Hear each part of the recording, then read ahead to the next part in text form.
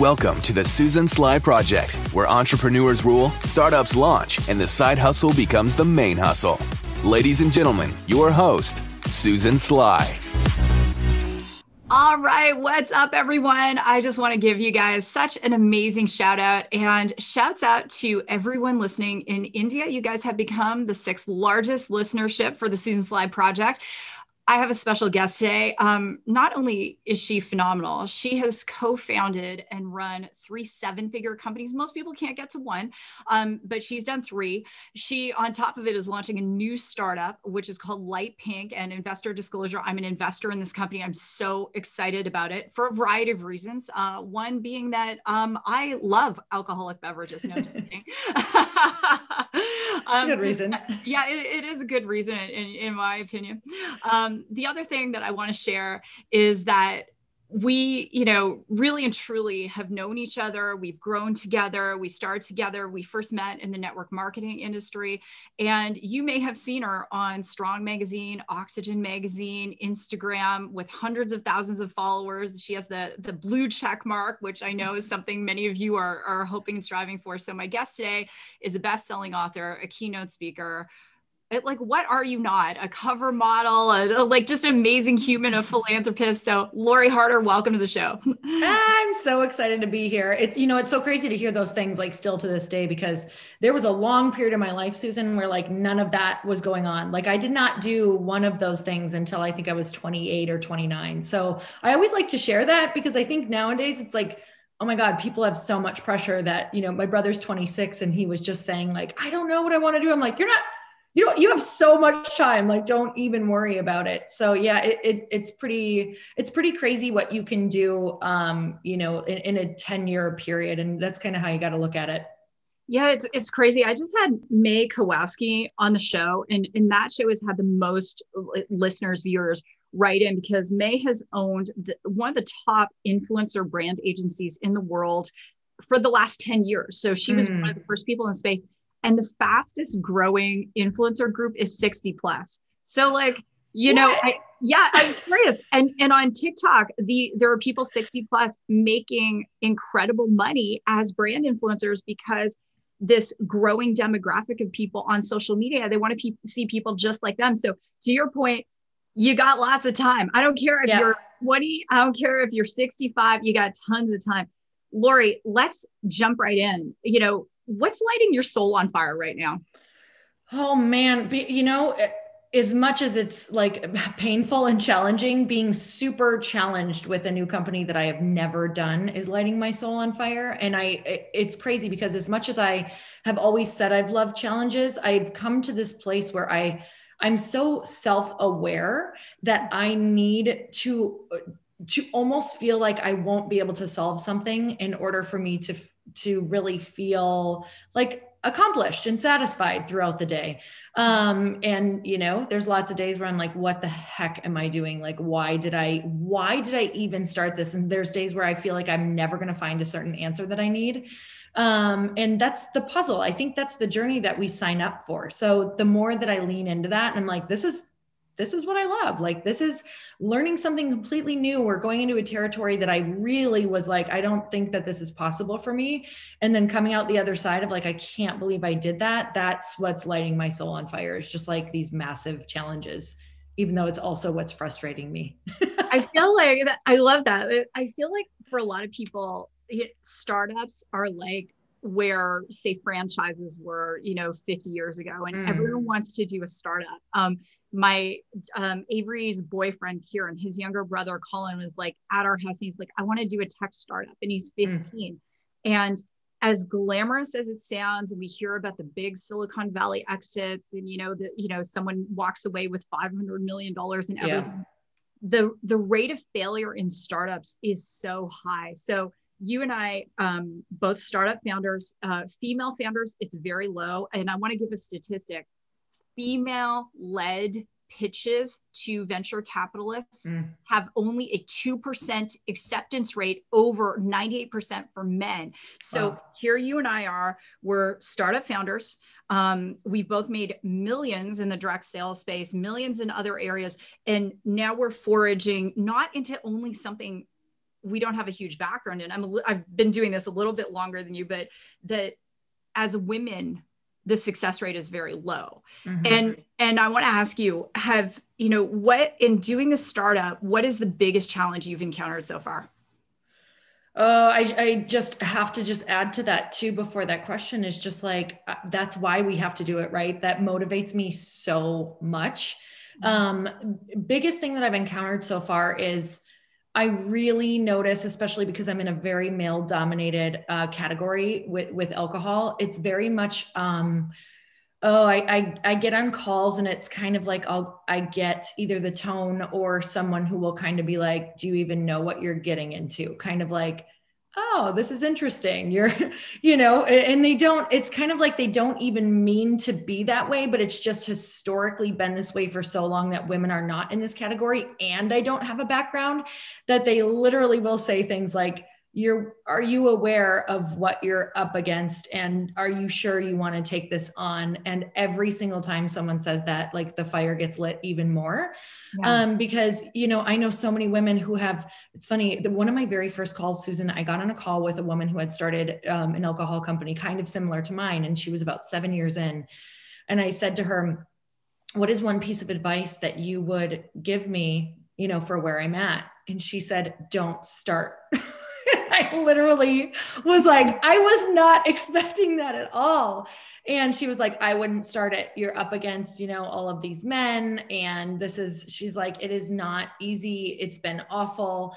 And I, that was the moment where I had had a similar um, experience happen uh, where when I was writing my book, I had a really close friend who had just written a book and had done the whole like tour and the, you know, the, the whole shebang, like two, like as high as you could go with as much as you could do with the marketing and everything and she said i feel like as a really like a friend of yours i need to tell you not to do this like you should just maybe self-publish or you know is this something you really want to do and she's like i'm getting a, a hit like a gut hit that i should tell you not to do it and that was a moment when I checked in with my gut and it was like, nope, she actually just confirmed that you must do it. And so when mm. the woman told me, don't start the alcohol company, I asked myself in that moment, will you be able to continue to be happy or, or satisfied if you let this thing go? And my gut reaction was like, no, this is even a bigger reason why you need to go and do this is because women who are getting into this category are feeling like, you know, they can't do it and they're being told they can't do it. And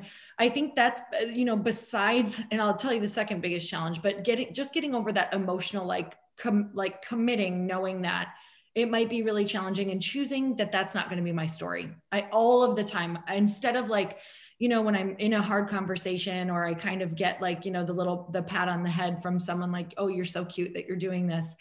Um, it's that moment of just like digging deep and and digging back in and the second most challenging thing is just the the licensing with this is like nothing is actually clear in the alcohol industry. it's like it, you are working completely in the gray. And also, while you're working in the gray, you're trying to make sure that you're doing everything, you know, as it, it, as legal as possible. But there's no lines. Like there's you're just like kind of operating in this space of unknowing. And that's been and on top of not knowing and then really having like the industry leaders being like well this is a gray area but here's what this person does and here's what this person does so you decide. Um, that's been a huge challenge is just kind of like okay we're going to blaze this trail and if it we bump into a problem you know we're going to look at the problems that have occurred and then solve them when we get there. And mm-hmm. i think that's kind of what we're always doing right? It's like you're choosing the the best worst option. And i'm doing that a lot and knowing that when i get to a, a, place where maybe there's another roadblock or whatever that is nothing is ever a stopping point.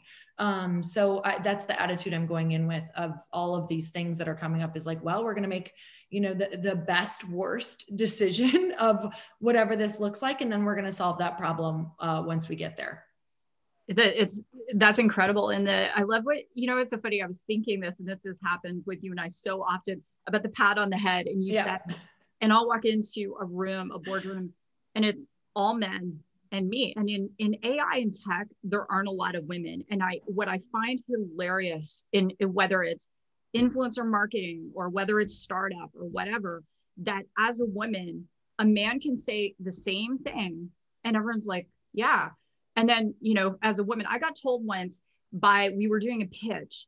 And afterward, I got told by someone that we were pitching to, he said, I find women like you are always trying to prove themselves. Mm. And I was the one leading the pitch. And I was like, you freaking bastard. Like, how dare mm. you? Right. And yeah. so, you know, when we talk about that marginalization, I've experienced it. And one of the things that I found is, you know, now I'm I'm three years into this. And and you know, we've gone from a, a pre-revenue startup to now um a $40 million valuation. And now, you know, in 2021 mm. we'll be at a hundred million dollar plus valuation. And what I so found exciting. for myself is that I, even though I perceive that I've got to be 30% better than if I was a different gender, I'm willing to do it. It's like you mm. said, like if someone's telling me not to, if if you know that challenge is there, I'm going to get better. Like in the face of challenge, give up or get better. Right. And, mm-hmm. and I mm-hmm. love that. So let's, some people are viewing, listening. They're like, what alcohol company are you talking about? Let's, let's talk about that. Cause you and I mm-hmm. know what we're talking about. So, so talk about Lite Pink. What's the vision for it? Talk about the product. Oh, so Lite Pink is a uh, wine. It's a light wine based rosé flavored seltzer. Um, and it really came out of all of the things that I have done before, kind of all meeting in one place. You know, I think looking back, we can all be like, whoa, why did I have that job? Or why did I go through this? Or why did I start that other company? And it's like where all roads are meeting for me, where all roads are intersecting. And it gives me chills just to think about it because um, it it also has an educational component. So where all roads are intersecting is everything I've ever done is about connecting women, like showing them that if you have this dream, you can go alone, but it's going to be slow and it's going to be hard and you may not get there. And when you, once you get there, you're going to be, you know, at your house or in your hotel room or wherever you are celebrating the thing that you just accomplished by yourself. There might be plenty of people on Instagram or Facebook saying congratulations, but it won't impact you because it's not those people who built it with you. So everything's been based on connection. And you know all of all of the things that i've done in the book that i wrote i had this moment of you know i was asking these women to read this book on connection and why we have trouble with connection and then start this book club around this book to help them connect except most mainstream women aren't really reading books or doing book clubs. So I wanted to really reach the masses. And so I sat down one day and I was like, where are they like where are they all connecting besides social media, which we know is not like real connection? And I was like, oh, they all think like girls' nights, right? Like cocktails or whatever that is. There's always like connecting over wine or going out or meeting for a glass of wine.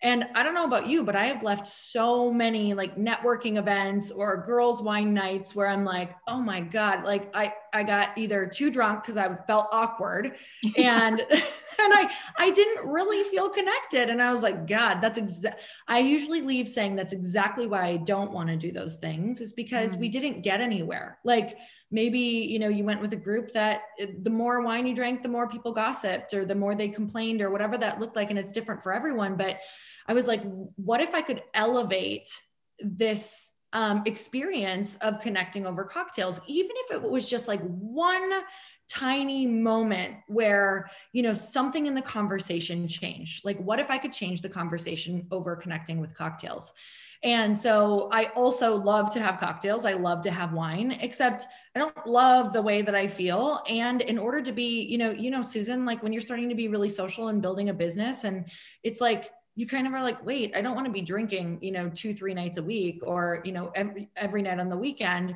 Is there something that's lighter that I could just have one that I could still feel great the next day to be really sharp for mm-hmm. what you need building and running yeah. a business? Um, so that's when I was like, what if I made like the most amazing tasting cocktail? Um, that was female funded, female founded, like screamed at you from the branding, like this is for you if you resonate with the hashtag boss babe at all, like something that was just so on brand for their life. And also, if they looked into the company at all, like they knew what it was about and they felt this emotional connection to it because I did not feel emotionally connected to any cocktail I was drinking. I was just like grab something because it was, you know, maybe it was light or whatever. And all these seltzers that are coming out, no offense to anyone, but there's really not cute branding. Girls don't want to be seen with it really, you know, for the most part. Um, so I was like, wait, there's brands everywhere. And I'm so emotionally connected to certain brands that I use, but I'm not emotionally connected to any brands that I'm having cocktails with, like, or that I'm consuming.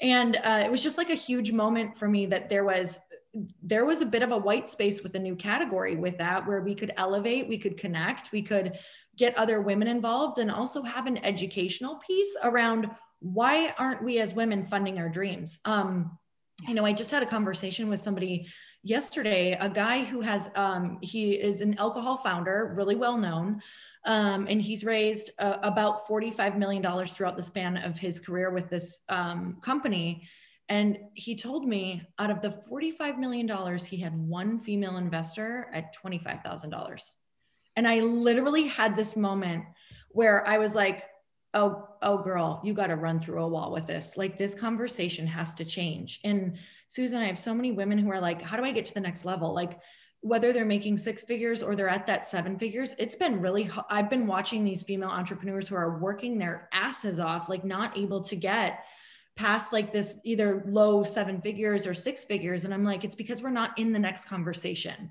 We're not in the building a company conversation. We're not in the how do we invest or become investors or get investors conversation. Like, I can't tell you the amount of women who are like, can you, is there some way that you could like teach me about this? Because I'm so interested in going to this next level and like this is not in my realm. And I just had this moment of like, wow, we are we're not privy to this conversation unless, you know, thankfully I got into it because my husband was willing to teach me about investing and was patient enough to sit down and be like okay this is what this means and you know this is what we can do and and this is how you can get involved. And and it was just this moment of like wow i i don't run in that circle. And um wanting to get women involved in that yeah it's a beautiful it's a beautiful vision and thank you lori for for sharing that and I love what you said about being connected to the brands, right? And mm-hmm. and how often as women, and we know it's a confessional, right? Like, and me too. It's like I'll uh, I'll come home and I'll have a glass of wine, and I sit there and I go,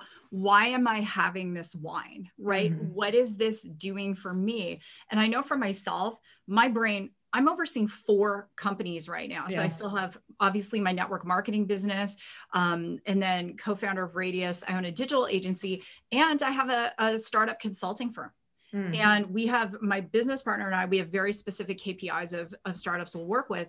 And over the last few years, it's like my brain is going a million miles per hour because I'm thinking cap table, I'm thinking, you know, supply chain, I'm thinking all this stuff. And then sometimes, yeah, I'll come home and I'll be like, I'm just going to sit after the kids go to bed, I'm going to have a glass of wine and I'm going to have that moment. And I, one of the things when we first started talking about Lite Pink that I really appreciated was it's never for me anything other than the sugar content that makes mm. me feel like crap the next day because I can't yeah. do any sugar, desserts, anything. And so um, the other thing I really appreciate about Lite Pink is that the box is an experience. Mm which is so cool. Like you open the box and it's it you can just feel your heart your passion the vision. I want to talk about for a moment going back in time a little bit because i think people will who know us and and i know thousands of people will listen to this and know us that they one of the things is how did we get here mm. right and you and I were talking before we went into recording about the the network marketing and direct sales space. Yeah. And and I would love for you to talk about that because we you and I have no sacred cows. Um, what are the top things you learned from building a seven figure per year plus business in network marketing and how are those things translating right now into what you're doing with your startup? Oh my gosh. I mean, the it's hard to just like pinpoint a few because there's hundreds of things I've learned, if not thousands. Um, I would say that for me, I learned how to paint a vision for people really clear. Um, and that is like, I learned how to enroll people into a vision. And if you can do that, you kind of hold the keys to the universe um, and, and to become so certain in something. Like if you believe in something your certainty will be what gets everyone on board and what keeps everything afloat and what keeps everything going. Mm-hmm. um, and that that was it for me. Like my level of certainty in the network marketing company that we were both in was so high because i had i had seen the problem i saw what it solved and then i had my own experience um, that's kind of what's happening right now, right? Like I see the problem with Lite Pink and where we need to solve a connection problem and an education problem. And it's like, it, once I learned how to get people enrolled and paint that picture, I mean, like I could get on the phone with just about anybody and get them enrolled in that vision. And that's when I learned how that worked and like how to prep myself before those calls and before I spoke to people to get back into my certainty and also to know what objections were coming. Like mm. in that company, I got really, really clear on what objections were coming and then getting clear on what my answer would be for them. And that's kind of what I'm doing right now with Lite Pink, right? Like I know the objections that are going to come with possible investors or it, you know, out in the world when I'm trying to get this out there. And it's just a game of getting the answers to those objections um, and also when when some people don't fall within being you know satisfied with the answer knowing when to let them go. I mean like can we talk about that in in network marketing that now applies to everything we do in life? Like know when your person is not your person.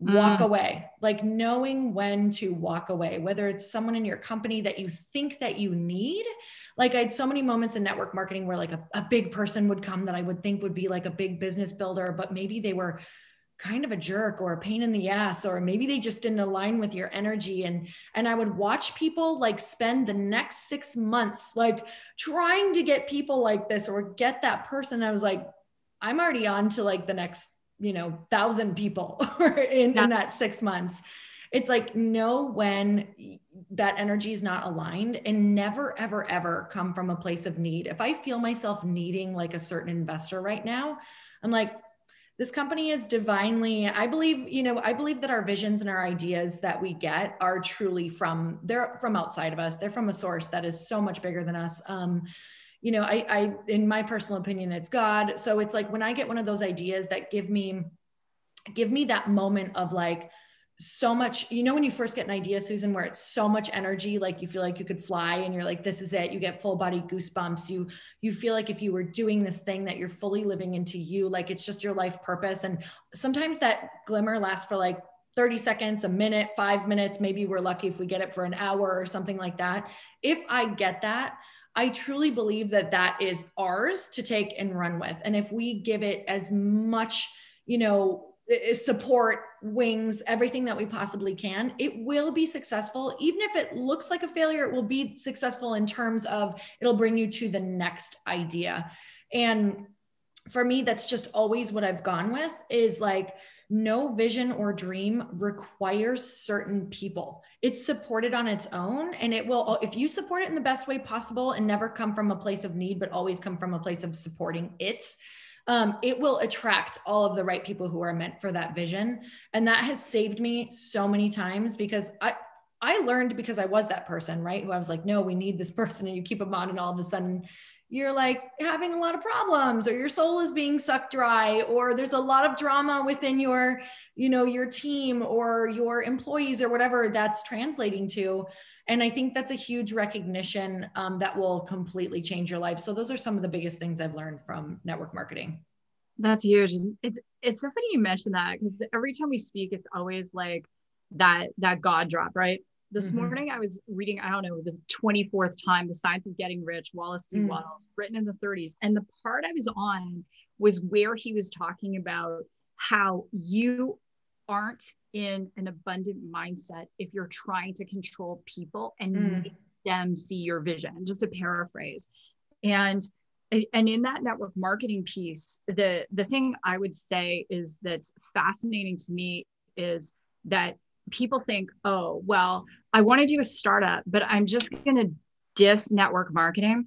mm. it's a low cost way to get a PhD in business because yes. if you can get to multiple six figures a year, then you have the skills it takes to do something else and retain that income. And I'll just give you an example. So in, in Radius, we brought in $7 million in seed money.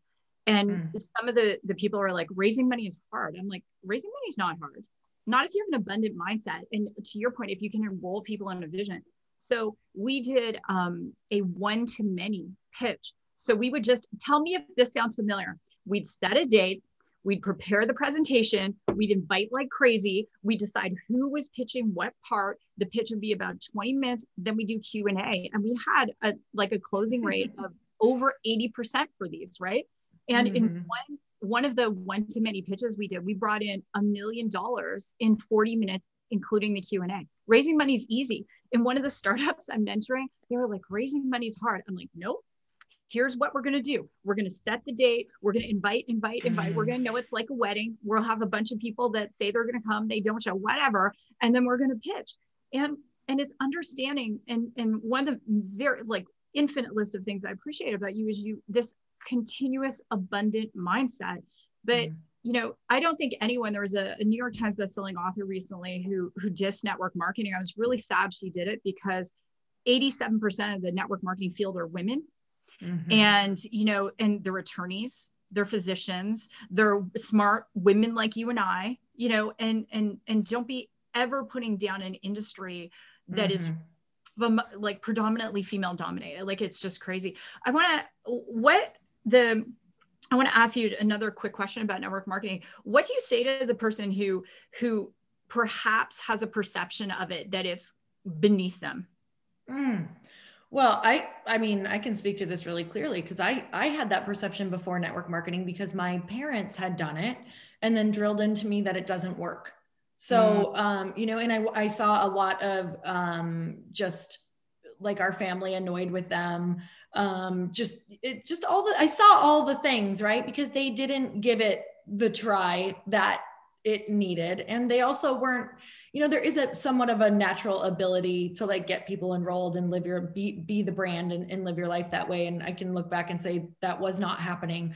Um, so I had that total like taste in my mouth of like, oh, this it's just it's kind of cheesy like it doesn't work like people think it's you know, people are going to judge me. They're going to think X, Y, and Z of me. So that was actually really tough because I was building my, in the beginning, I was building my career in fitness where your, your reputation was kind of everything.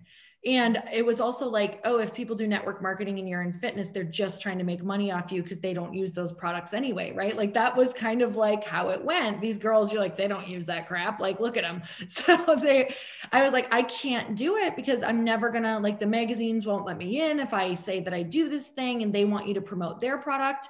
So it was actually a crazy point for me where I had to be like, do I choose my dream? Because at the time, my dream was to be like on fitness covers and and uh, be like a fitness mentor, which at the time it was there was no fa- like real Facebook at the time. There was no, I think maybe it had just started. There was MySpace or something, and so I had this that that moment of like, oh my God, you know, I don't think I can do this. But I also in my life, thank God, my my back was so up against a wall. Chris and I had just um, my husband had lost his job. It was 2007 in the recession and I was doing random jobs. Um, so I was only, you guys, I was on, only earning like, I don't know, I, I was working in LA Fitness, making $6 per 30 minute session, not paying the bills.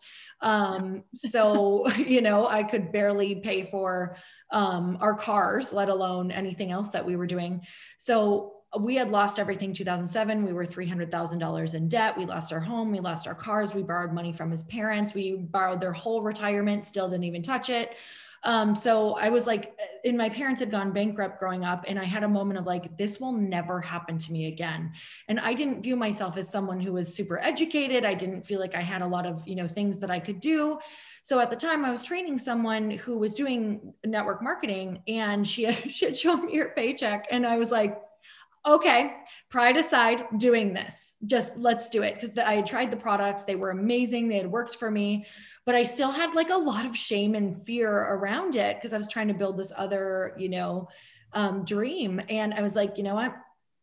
I got to go for it. Like, I can't live this way anymore. And this is a great product. And I've always been a person who's been able to share a product and people end up using it or doing it. So I knew that I had a little bit of influence. Um, so I was like, I'm just going to try it because I think it's also going to be awesome for my clients and some of my friends. Um, so uh, that's when I tried it and I started seeing the results. And, um, you know, I committed though. I said, I'm just going to go all in on this and try to make X amount of dollars. So I made a goal. Um, I went back to the pain point a lot of like sometimes I would, you know, people would say things. I definitely got a lot of people who called me a sellout. Um, you know, I had some magazines who didn't want to work with me, and that was really challenging. Um, but at the same time, it was like, it doesn't matter if this magazine doesn't want to work with me. They're not paying crap anyway. I need to take care of myself. Like, that was a moment of what if I cut out the middleman and don't worry as much about getting on these magazines, but actually worry about making the income where I can decide what I want to do. And I don't need these people to approve of me. And I can get a bunch of women who are on board with not needing people to approve and all of us deciding to cut out the middleman and doing our own thing. I'll make my own damn magazine if I want to. Like that is what I started to get into because I was like, this is working. And this is like such a great way for all of us to make money. And as much as I loved the body transformation as a personal trainer, like helping women with their body, I got to this place that I was like, okay, if they're not confident and if they're not making money and they don't have the money to be able to change their body, their situation, the food that they're eating, the environment that they're in, like I'm not doing anything. So, uh, not uh, on top of that, I was like, wait, a financial transformation is actually more power than an initial physical transformation because that will take away the stress and give them the time to actually start getting their health in order. So for me, that was that moment of just like, get over yourself. Ego is your greatest overhead at all times. If you can get over yourself and like just do the do, you will be wildly successful. And Chris and I still to this day take that lesson when we're doing something that we're just like, oh my God, get get over yourself and just do the work. And if, if you can see like what the outcome could possibly be you need to get out, out of your own way. I, I there's a, there's a one of my favorite sayings is if your ego is bigger than your bank account you know, right? And that's so and, good. you know, it's like you can't have an ego bigger than your mm-hmm. bank account. Like mm-hmm. it, and that's the the thing. I know that you know i've been prejudged and discriminated against uh, many times because of network marketing. And I had someone say to me, Well, you can't let anyone know about your network marketing background because in Silicon Valley, no one's going to take you seriously. Well, the hilarious thing is, over 50% of the, the money we raised um, for Radius came from network marketers. Mm. Yep. And and that's the whole point. It's like you you go in, there's in my humble opinion, you can go and do an MBA, you can spend $250,000 doing that or you can invest, you know, 250, 500 bucks, get coachable, go grind it out and get your mm-hmm. PhD in business and go yep. back and get your MBA and pay for it in cash if that's what's on your heart to do. But like it's it's it's a training ground. You're going to face everything. And if you can go through that, it's like Navy SEAL boot camp, then you can go and do something else. And you're you're going to be much more likely to be successful. Um, so thank you for your your wisdom on that. I want you know people you know are like oh my gosh so lori you have all these balls in the air. So what does your day look like?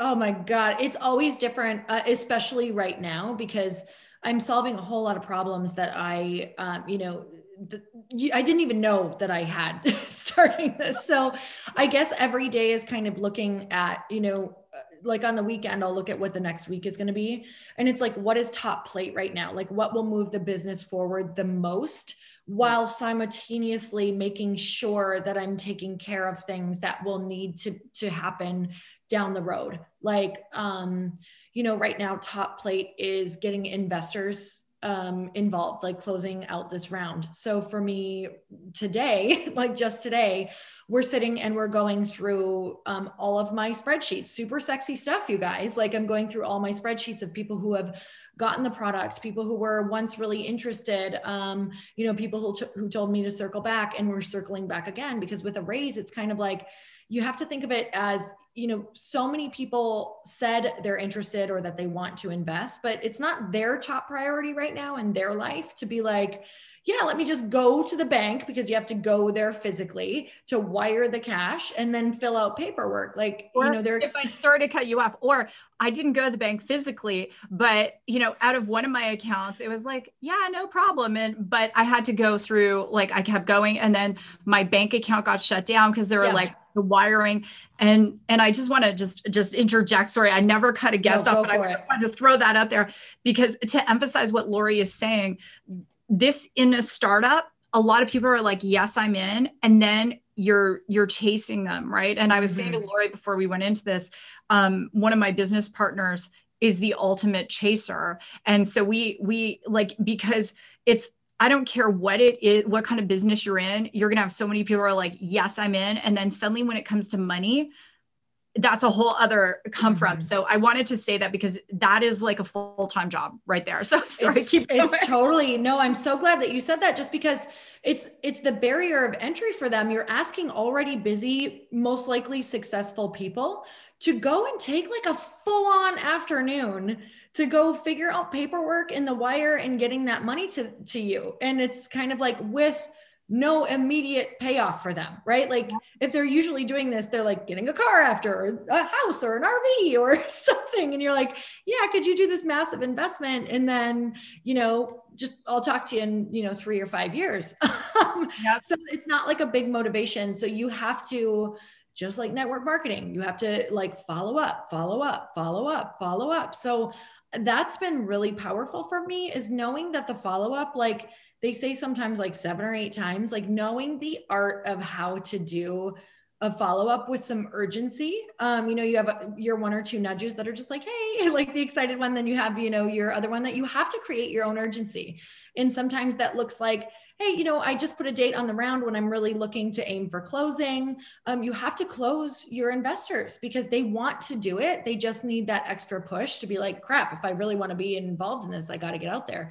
Um, so that's what my days are looking like right now, on top of, you know, like podcasting and keeping some other things going. Um, but there are some things like I had to let go of some really good things. Like one of my one of the businesses that you had mentioned, I let go of, of one of my membership sites that was still making a ton of money um, because energetically I did not have the bandwidth for it and I felt it. Like, so I had to let go of something good in order to make room for the great. So I let go of actually a lot of income right now um, because I don't have the time for it. Um, and I'm going all in. And, um, you know, I, I know that if I want this company to be what it's supposed to be, I have to go all in on it. And that requires me to create space um, so yeah, th- that's what my days looks looks like right now is just a lot of um, making sure I'm supporting it through fundraising, um, also projecting out like for launch, who do I need? What do I need? So we're already talking about like our hires, hire, our, you know, our hires for marketing. So I have somebody helping me with that. Um, and just a projection of like what will the investors be helping me with with launch. Um, I'm talking to a lot of co-packers right now different susan it's different every day. Yeah, it is i think that the biggest thing is i whatever business someone is in watching or listening 80% of lori's day just so everyone is clear is in follow-up. And i mm-hmm. love and and appreciate so deeply what you said like you let go of things that you loved to make room and space for this. And, and with radius um, two years ago first I came in as a vice president, then I was the president, then I became mm. the co-CEO last year. A CEO of a tech company, we have to give people perspective. We have employees in Phoenix, Silicon Valley, mm. Europe, and we have um, employees in India. When I, you know, I just got a, I, my day starts like at four in the morning. At mm. 6 a.m., I start to get texts. Like I got one this morning. Hey, there's a $90 billion opportunity. I need you in a meeting on Friday morning uh, yes. Like it doesn't mean we'll get 90 billion, but to be part of a bid for stuff like right. that. And a lot of the stuff we might pitch might be a no for now, yes for later. Like it's just constant. But my day is very similar. It's pitching and following up, pitching and following up. And I had to, I had to clear space out of things that were generating significant amounts of revenue because this is like you you do you go all in. And that's why startups are not for everyone. I just mm-hmm. had emily hochman on the show. Emily is top forbes 30 under 30 i'll introduce you to her. You'll love mm-hmm. her so for your show. And and and you know she she founded Wellory an anti-diet app. And she mm-hmm. got like $2 million in funding right away. And now she's the, of course, has to be accountable, not just to her team, but to all of those investors. Mm-hmm. And, and people don't understand that once you start a startup and you have investors, they want updates right mm-hmm. then then like you said you might not see an roi three to five years sometimes seven to ten and there's just there's so much and it's it's these are 16 hour days like mm-hmm. that's that's why we're all going to be drinking Lite Pink every night um yeah. yeah um i'll take a palette please like yeah. could you send a palette? Yeah. Um final question. Let's talk about this super quick. So um Lite Pink is going to launch um, and let's talk about the the launch dates when people should start to look. You all want to be following at Lori Harder on Instagram. Follow me. You're probably following me at Susan Sly on Instagram because we're going to be doing, you know, a lot of talking about this. But let's talk about the launch. When's it launching? How are people going to be able to buy it? Yes, um, it's going to be launching late spring, so right on time for summer um, and you can buy it online. So our first year is going to be all online. So uh, we're hoping to be in 43 to 47 states at that point. Um, but definitely should launch in main states right away. Um, and then you should be able to get that like direct to consumer online. Hopefully, it's like a two two to three day turnaround is what we're aiming for to get it to your doorstep, which is super awesome because we know when we want you know alcohol we want it now yeah so you can and you can ship it to your friends as well which is really cool and also do some auto ship things that we are going to be looking um, at so some other things susan that we're thinking about is just some um, you know some educational components that might go with that like auto ship membership which you and i are very familiar with. So i love that i love that brand model of of you know an auto shipper membership yeah, and that was something actually mainstream business borrowed from the network marketing space. Mm-hmm. And and if we need to, Lori, like I'm at my office in Scottsdale right now, so um, I have a whole conference room. We'll just fill it with Lite Pink, and yes. we'll make a mini distribution center. So if we're in Scottsdale, well, Lori and I can have like a like you know a socially distanced, safe distribution of Lite Pink. Yeah, it's gonna be great. It's gonna be great. Surprise! You're now also a distribution center. yeah.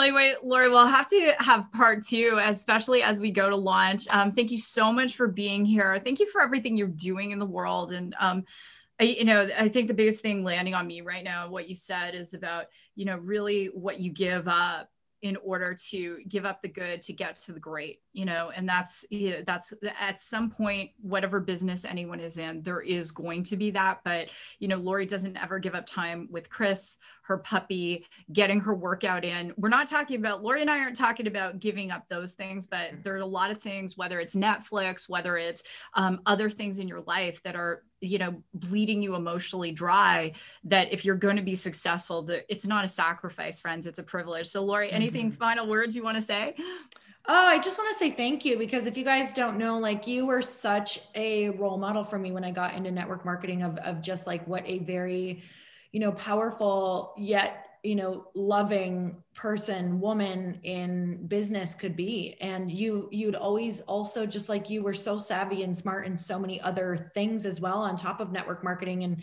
and i think that that was just something that for me was just a really beautiful model of of you know what i could embody. So i just want to say like thank you so much and thank you for having me on your show. And i'm so excited for all of the things that we have um, coming up and just uh, so cool that you are impacting so many people in this way.